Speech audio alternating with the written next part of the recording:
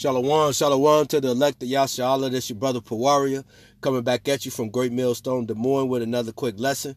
First and foremost, I want to give all praise, honor, and glory to Yahweh, Ba'ashem, Yahweh Shai, Ba'ashem, Rakakadash. Double honors to the apostles at Great Millstone who rule well. Salutations to all you Akims out there that's pushing his word in truth, sincerity, and always in charity. And as you can see, the title is Depart from this world in order to be a part of the next world to come. And the next world to come is the kingdom of heaven that the Lord has promised to his chosen people. And the Lord is not coming back for those that is attached to this world or want this world to continue on. Like from the highest class of our people to the lowest class of our people, they want this place to continue on or they're attached to this place some kind of way. Like starting with your high class people like your your your Kanye West, all these celebrities, you know what I'm saying? They they find out that they are Hebrew Israelite and then they they turn around and, and apologize to their enemy. Man, that's some BS, man. All right? And even to the, the middle class of our people, they they got them a, a, a good job. They might have their own business and, and, they just want this place to continue on. You know, and even down to our lowest class people, these these niggas, these low level, these low level niggas, man. They find out they they a Hebrew Israelite and and they they they don't they deny it, they reject it. That's why that's Hosea four and six tell you what's gonna happen with them. You know, happen to all of these these these ones that reject the Lord in this word. Cause I heard it's some nigga that uh said he don't want to be a Hebrew Israelite. He claimed that he's a nigga. That's an ignorant nigga, man. All right, that's what he he he's happy at, at being a happy nigga. As long as he got his blunt or whatever, man, the things of this world, he's happy, man. But the true men of the Lord, man, we are vexed in this place. We hate this place and we want it to end, man. Cause we know that this this is not our rest. All right. It tells you in Hebrews 13 and 14, for here we have no continual city, but we seek one to come. So we're seeking the kingdom that's about to come. Not here, man. That's telling you here is not the place to be. This is not our rest. So it is no need to be trying to invest in this place for the long haul, man, so that you can give your inheritance to your kids, your grandkids, your and their kids and grandkids, all of that. Nah, man, that's hey, this place is not gonna last long enough to for that, man. This place is at the very end. We should be storing up our treasures in heaven. All right. So uh let's get uh let's get John 15 and verse 18. And it reads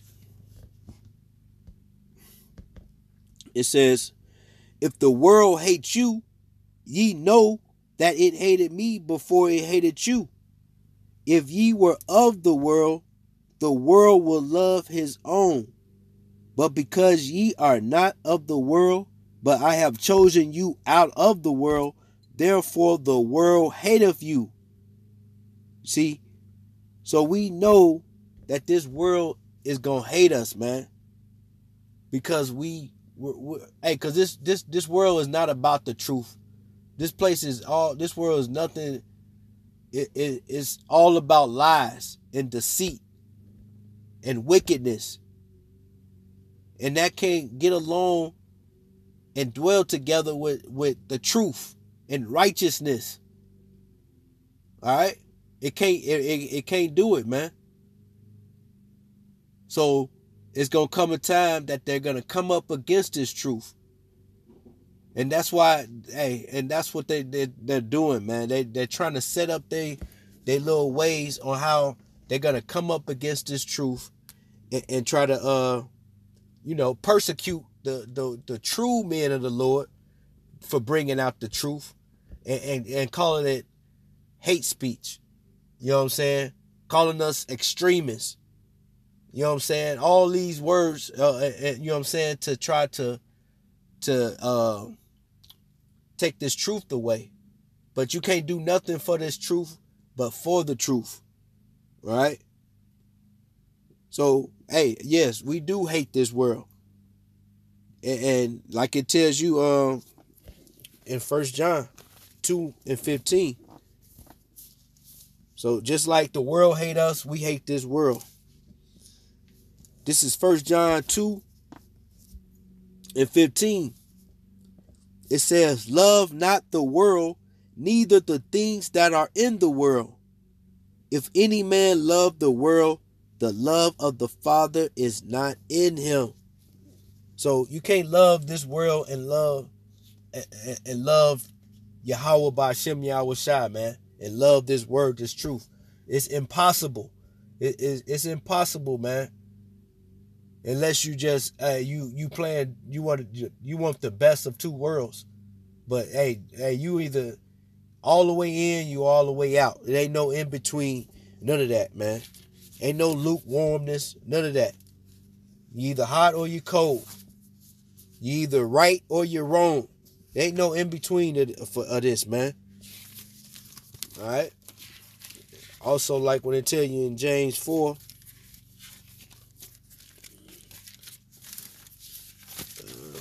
that? James 4 and 4.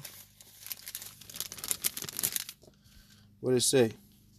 It says, Ye adulterers and ye adulterers, know ye not that the friendship of the world is enmity with the Most High power.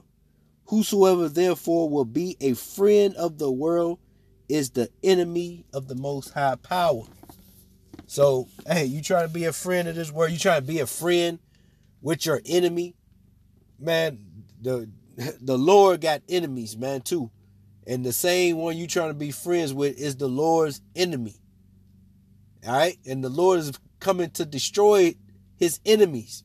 So if you join hand in hand with him, you, hey, you guilty as charged, man. Trying to trying to hold hands with your enemies.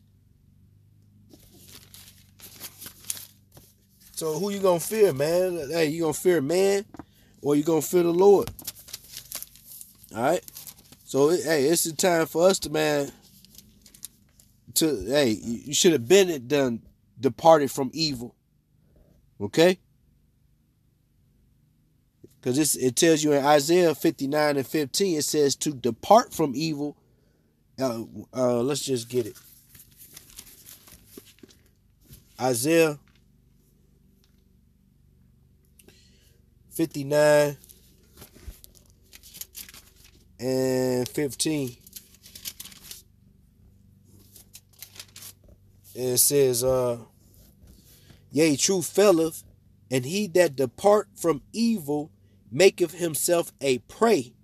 And the Lord saw it, and it displeased him that there was no judgment.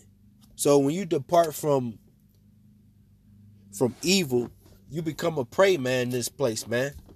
They don't mind you being a nigga, a thug, you know what I'm saying, calling yourself African American, or uh, or just a nigga. You know what I'm saying? All these bad words, they don't trip off that, man. But once you call yourself the chosen people, the Hebrew Israelites, then now it's a problem. Which which should tell you, man, this is the truth. you know what I'm saying? This right here is the truth, man. And it ain't no man, and you can't let it go. All right? If you truly believe in his word, you're not to let it go. You're not going to appease your enemy by apologizing for who you are, for who the Lord made you to be. You know? That's nonsense, man. And, you can't fear this devil, man. All right? Uh, like what the scripture says, man, don't fear the man that can kill the body, but fear the one that can kill the body and the soul. All right? That's who you should be fearing, man. But here it is, our people, they want to continue on in this place. They want to have a, a, a good, successful life, man. And, and and and would do whatever it takes to to hold that lifestyle or to reach that lifestyle, man. But when you read Matthew 16 in verse 26, Yahweh said, For what is a man profit if he shall gain the whole world and lose his own soul? Or what shall a man give in exchange for his soul? So, what will it profit you, man, if you just gain this whole world? You know what I'm saying? You got all the riches, all the bitches, all I mean, everything, man, you want at your at, at your hands, man. That ain't gonna profit nothing when the Lord come and destroy this place. All right, it ain't gonna profit you nothing. Your riches is not gonna profit you nothing when the Lord come with His wrath to this place. So it will behoove you to man to to follow after the Lord, man. Trust in the Lord, repent, and live your life according to the way the Lord want us to live, man. All right, cause hey, man, we the Lord promised us this kingdom, man. All right, He promised this to His people. That's it. That's the inheritance that He's gonna give to His people, man. All right, like it tell you in Second Peter three and thirteen, man. Uh, we looking for a new heaven and a new earth, wherein wherein dwelleth righteousness. This place do not dwell nothing but wickedness, death. We want life, man. All right. So we know we're gonna be hated. You know what I'm saying? The scripture says, "Marvel not if the world hates you, man." So look, hey, we don't give a damn, man. Whoever hate, hey, hate me, I'd rather be, well, how they say that in the world? I'd rather be hated for who I am than to be loved for someone that I'm not. So, hey, man, I, hey, hate me all you want, you know? But, hey, man, once again, our people, man, they too far gone in this world. And ultimately, they don't think that, they must don't believe that there's a, a world to come after this, a kingdom to come. They think this is all it is, you know. But uh, yeah. Let's get um. This is Proverbs 16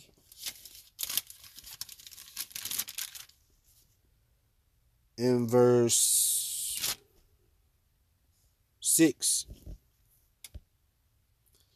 It says, By mercy and truth, iniquity is purged, and by the fear of the Lord, men depart from evil.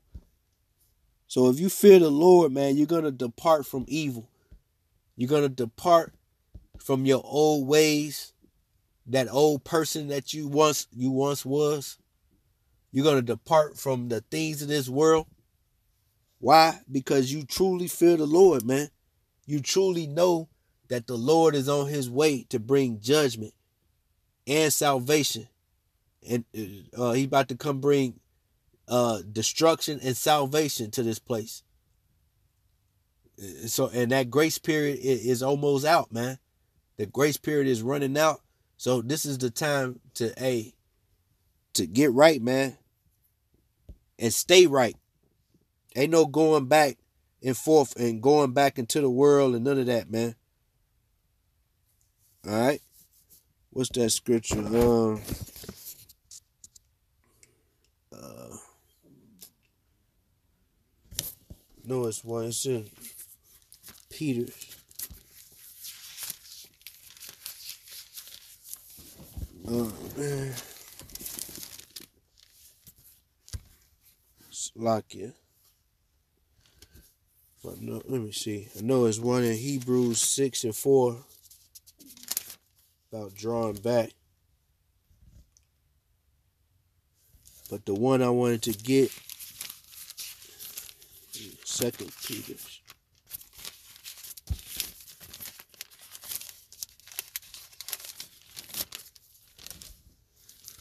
Uh, see, Second Peter's two and twenty. It says, "For if after they have escaped the pollutions of the world through the knowledge of the Lord and Savior Yahweh Shah Mashiach, they are again entangled therein and overcome, the latter end is worse with them than the beginning. All right. So here it is, man. The Lord has has has uh, allowed you to receive this, hear this word, and receive this truth, so that you may be able to pollute, uh, to escape the pollution of this world and, and the things that's about to come to this place. But then you, hey, you find yourself going back into the world, being entangled with the things of this world, man your latter end is to be worse. Okay? This is a scary thing, man. And the Lord, hey, He is not playing no games. The Lord is coming back angry. And and that's it, man. All right.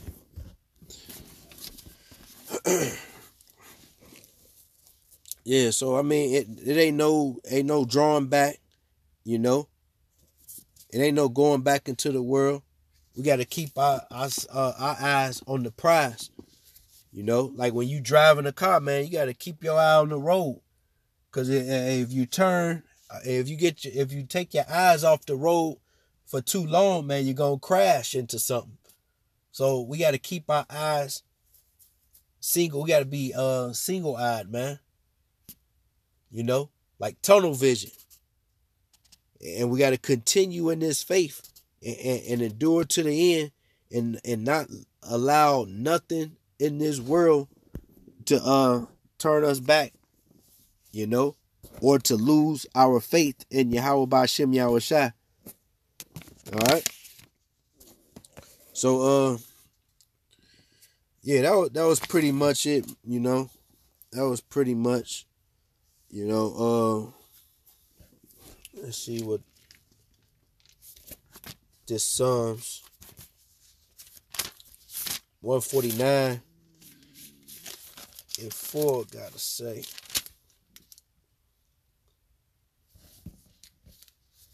It says Psalms 149 and 4, it says, For the Lord taketh pleasure in his people.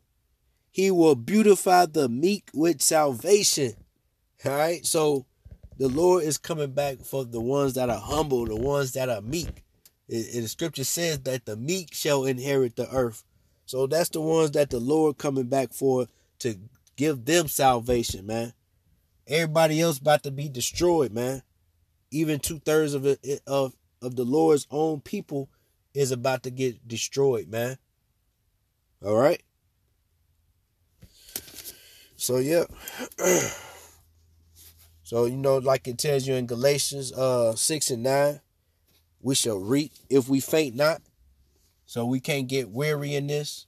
You know what I'm saying? It, it, it's hard, man, living in this world. And you, you, you can't get you, you can't be happy in this world, man. You can't get comfortable in this place. All this is all temporary, man. You know, ain't no no true happiness in this place. You can't even truly enjoy your family, man you your kids, you know what I'm saying? The brothers, you know what I'm saying? Because we got to work, got to this, that, and the other. You know, in this place. So, hey, this place got to end, man. All right. Let's get. Let me get uh second Esdras. Uh, I'll read this real quick. Second Esdras eight and one, it says, And he answered me, saying, The Most High made this world for many, but the world to come for few. So the world to come is for few, man. That's what makes it so precious. All right? Because when you have, if it's something that you got is that that is uh plenteous, it ain't it don't make it precious. You know what I'm saying? You know, so this world to come is for few, man. That's the that's the Lord's chosen people, man. All right? It's a beautiful thing, man. Let's turn let's uh read this. Let's end it off with this second Esdras 6 and 9. This is a scripture. Hey, this is the this right here is coming to pass right now, man. This scripture right here. This is the end of Esau's rulership, man. That's it. That's all for him, man. So he gonna come come with his wrath. But the Lord is gonna lift up a standard, man. You know?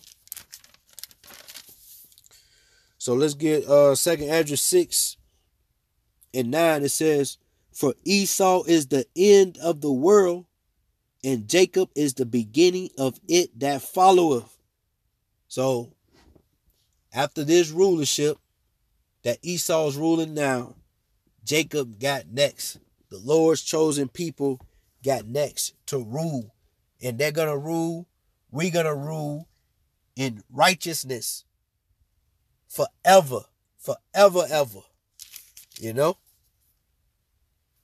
So, so, hey, this is what you should be looking forward to, man. The kingdom of heaven. All right? So yeah, that's uh that's pretty much it, man. Uh I'll end it off with this one. Galatians 1 and I'll read start off with 3. It says, Grace be to you and peace from the most high, the Father, and from our Lord Yahweh Shai Mashiach, who gave himself for our sins that he might deliver us from this present evil world according to the will of the most high power, Yahweh, our Father. So, hey, the Lord is about to come and deliver us from this present evil world. That's what we want. That's what we want, man. That's what you should want. If you're righteous and a uh, man of the Lord, you that's this is what you want, man.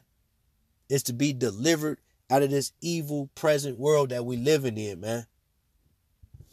But yeah, that's pretty much it, man. Lord willing, this was edifying.